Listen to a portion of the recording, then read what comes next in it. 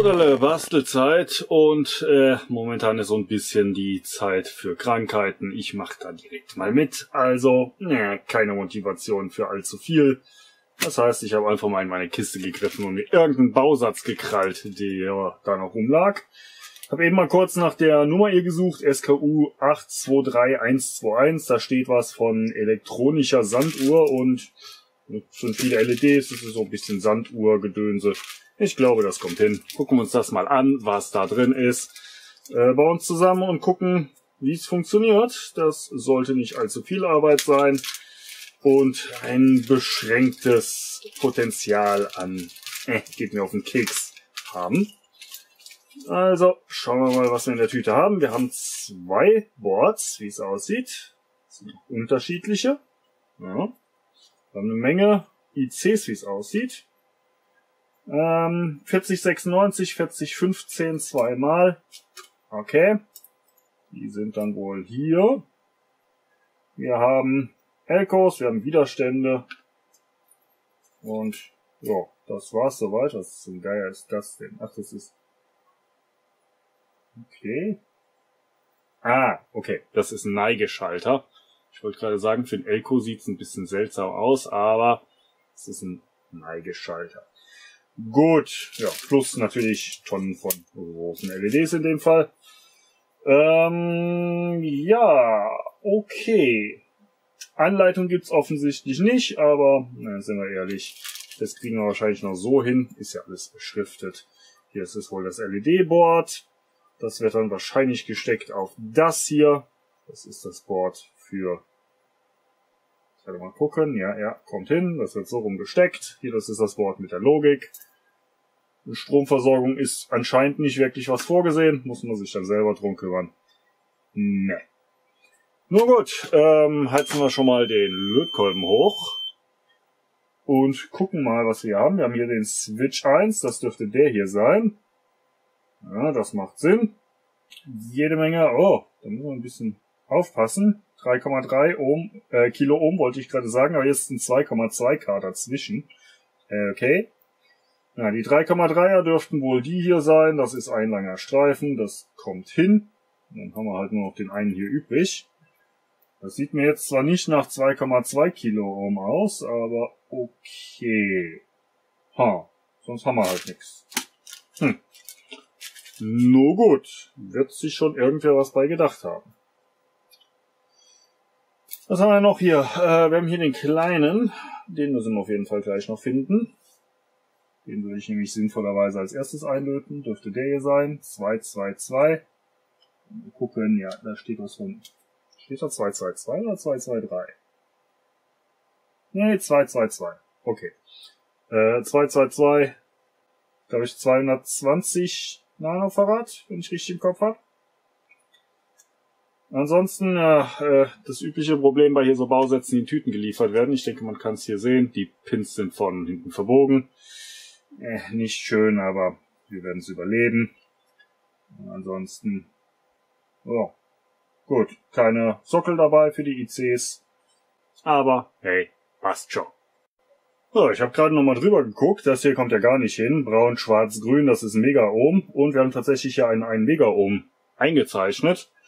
Das heißt, der 2,2 Kilo Ohm fehlt theoretisch, wobei der halt auch einfach ja, auf hier so einen Stecker geht und hier oben haben wir ja nur die LEDs. Also ich würde da jetzt sagen, da kommt auch der, äh, der hier hin.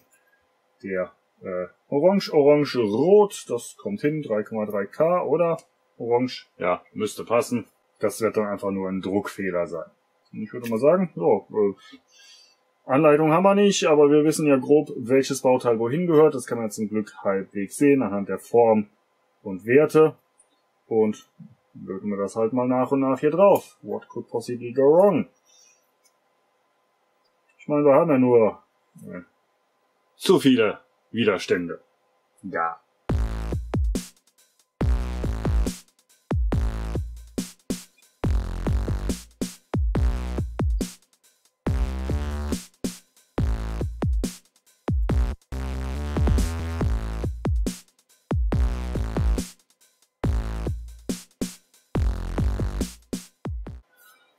So, wenn wir dann alle 3,3 Kilo Ohm Widerstände drauf haben, dann haben wir immer noch den 1,1 Mega Ohm. Den sollten wir eventuell auch noch einlöten. Der war ja hier unten.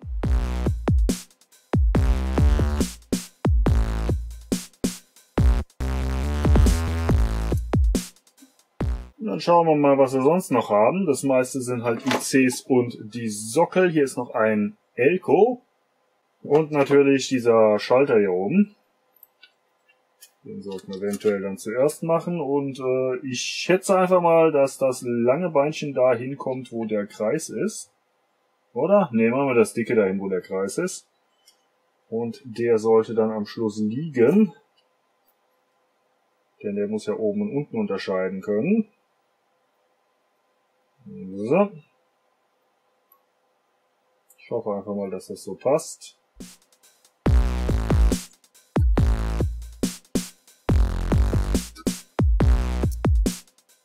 Und beim Kondensator, da müssen wir schauen, da gibt's hier die Minusseite mit so einer weißen Streifen dran. Der sollte sinnvollerweise auch dahin, wo hier unten auf dem Board das Minus ist, also die weiß schraffierte Stelle. Da müssen wir also aufpassen, wie rum wir es einsetzen, beim Rest war es so weiter egal.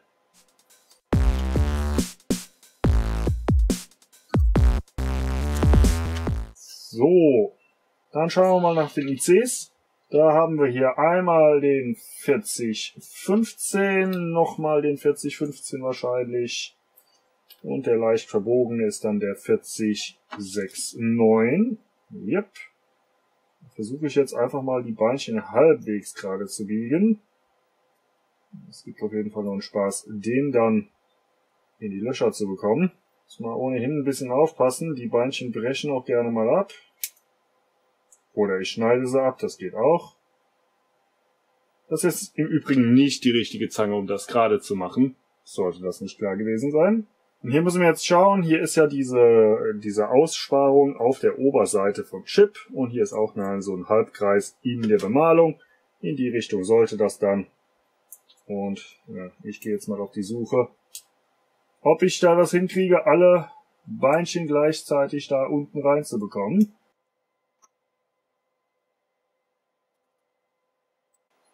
Okay. Drin ist er. Der abgeschnittene Pin ist auch lang genug, der kommt trotzdem noch durch. Das heißt, ich kann sinnvoll verlöten. Normalerweise würde ich hier mit Sockeln arbeiten. Äh, dann kann man, wenn dann IC kaputt geht, das einfacher tauschen. Aber ich hoffe einfach mal, dass die ICs schon passen. Die sind inzwischen ja relativ robust und entsprechend wird dann halt direkt eingelötet. So, selbes gilt dann für die anderen beiden. Auch hier gucken, dass wir die Kreise oder Halbkreise auf dem Chip mit der Bemalung auf dem Board übereinander kriegen. Eventuell muss man so ein bisschen mal auf dem Tisch die ein bisschen nach innen biegen. Wenn das auf dem Tisch macht, geht das, dann biegen sich alle gleichzeitig. Das ist da meistens eine ganz gute Sache. Ginge wahrscheinlich deutlich einfacher, wenn man irgendwo mit den Fingern dazwischen käme.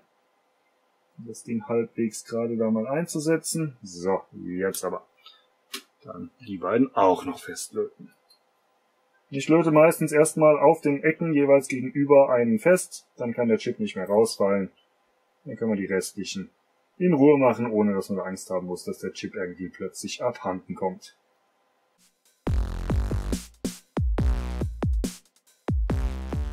So. Auf der Seite müsste mir jetzt alles haben. Das heißt, wir kommen zur Rückseite. Da haben wir hier 5 Volt und Ground. Da müssen wir uns also noch was ausdenken, wo wir den Strom herbekommen. Da hole ich mir gleich einfach ein USB-Kabel. Und hier drüben, da haben wir noch ähm, den 100k Poti. Das ist der Dreibein hier. Damit können wir irgendwas einstellen. Wahrscheinlich eine Geschwindigkeit oder so. Und einen Schalter sehe ich da noch. Irgendwo habe ich den eben auch noch entdeckt. Ja, da ist er. Der passt nur in eine Richtung. Dann machen wir die beiden dann auch noch rein. Versuchen es jedenfalls. Ja, festhalten, bis er da unten ist. So. Jetzt schnell festlöten, dann fällt auch nichts mehr raus.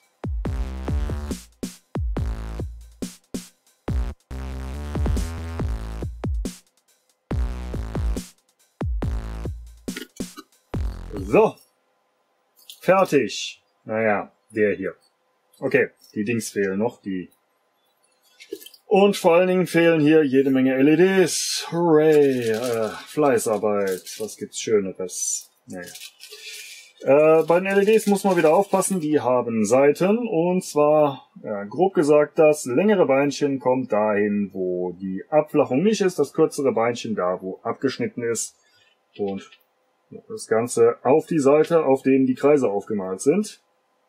Und ja, das sind jetzt natürlich wieder einige. Muss man ein bisschen aufpassen, dass man die alle in die richtige Richtung reinmacht, ansonsten hat man nachher keinen Spaß damit. Das wäre doof. Und insgesamt sind das wohl 20? Nee, da sind noch mehr. 30 LEDs. Hooray. Macht nochmal 60 Lötstellen. Also, wenn jemand Löten üben möchte, vielleicht nicht das schlechteste Kit. Lötstellen hat man jedenfalls genügend. Ich mache gerade schon mal einen auf der anderen Seite, dass das flach aufliegt. Wir hoffen, dass das dann irgendwie halbwegs geht dann.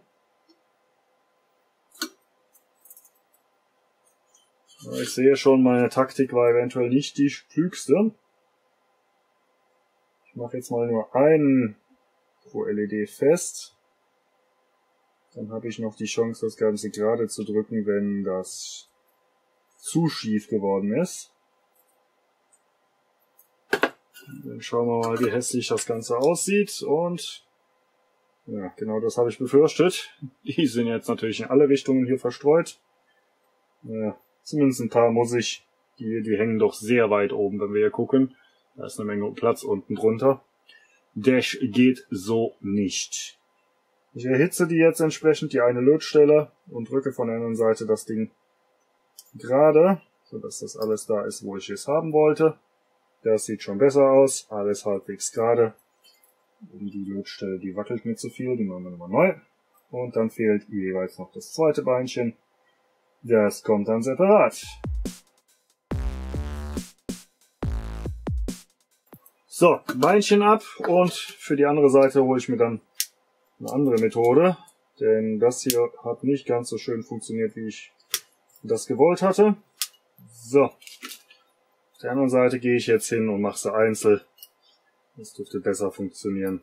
Dann hat man zum einen nicht die ganzen Beinchen im Weg, wenn man löten möchte. Und zum anderen kriegt man es wahrscheinlich auch sinnvoller äh, gerade geschoben hier. Das heißt, ich mache eine Lötstelle, schiebe das richtig so, wie ich es haben möchte. Mache dann die zweite. Und dann, ja, je nachdem, ich denke, ich werde es jetzt erstmal mit einer Reihe machen, dann abschneiden. Äh, vorausgesetzt, ich krieg die Dinger gepackt. Äh, wichtig natürlich auch hier weiterhin auf die Richtung achten. Habe ich das? Ja, sieht richtig aus. So. Langsam verwandelt sich hier meine Arbeitsfläche in ein Riesenbad von solchen LED-Beinchen. Aber wir sind fast fertig. Es fehlen jetzt nur noch die hier. Und ja, was wir dahin machen, ist offenbar halbwegs egal. Das heißt, wir müssen entscheiden glaube, ich mache sogar abwechselnd, ja. Das macht irgendwie Sinn in meinem Kopf. Das heißt, wir wollen jetzt hier einfach mal Buchsen. Machen die hier hin. Löten die dann fest. Damit wird dann gleich die beiden Boards miteinander verbunden. Und auch hier hilft's, die äh, Ecken erst festzulöten, sodass es nicht mehr verrutschen kann. Dann zu gucken, ob alles gerade ist. Und wenn ja,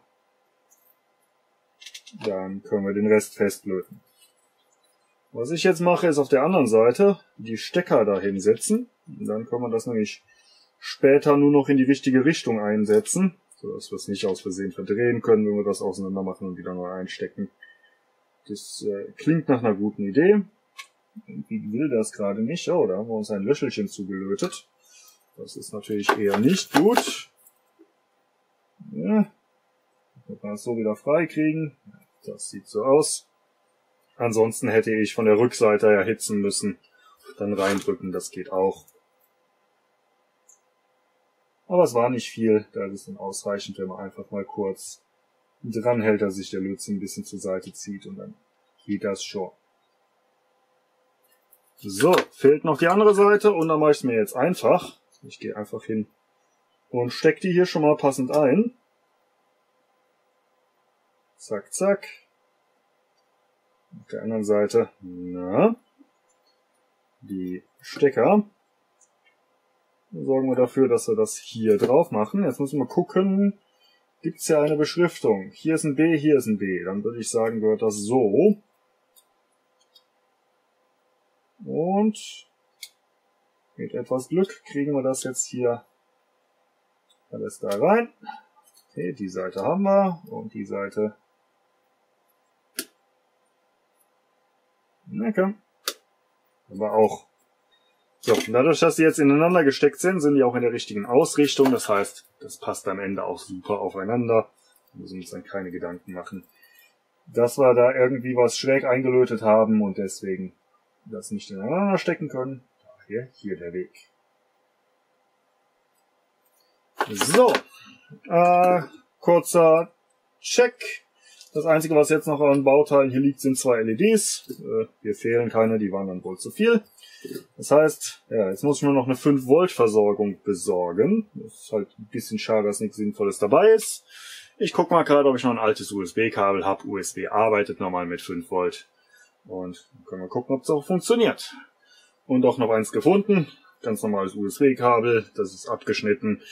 Ich äh, mache die meistens ab, wenn ich irgendwie Geräte wegwerfen muss, die USB dran hatten. Mäuse, Tastaturen sind so Klassiker. Und ähm, ja, theoretisch, wenn wir die hier aufmachen, sollten wir vier Käbelchen finden. Rot, Schwarz, Weiß und Grün.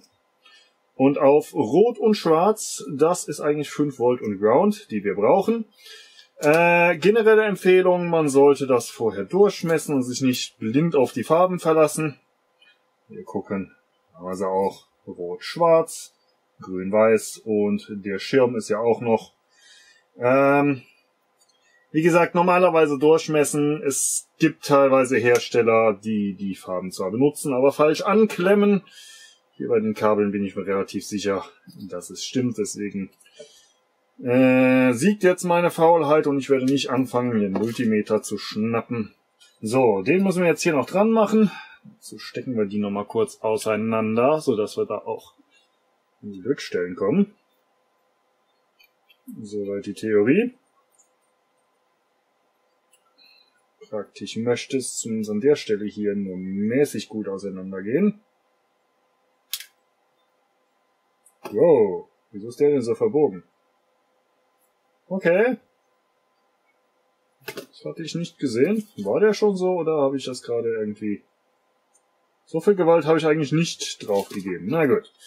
Ähm, was hatten wir? Wir hatten Ground ist schwarz.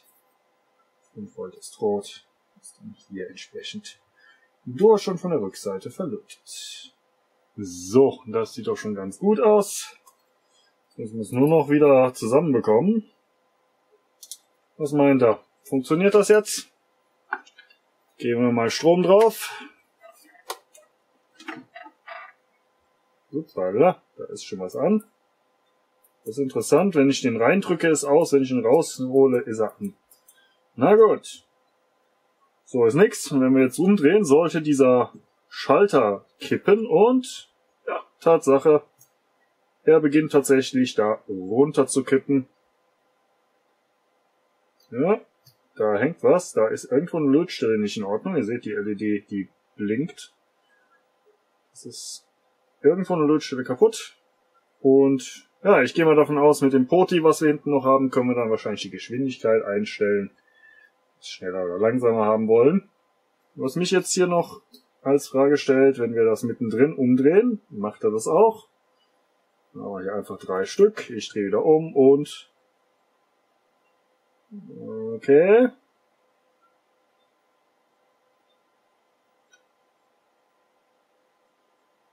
Äh, ich glaube, da kommt er ein bisschen durcheinander.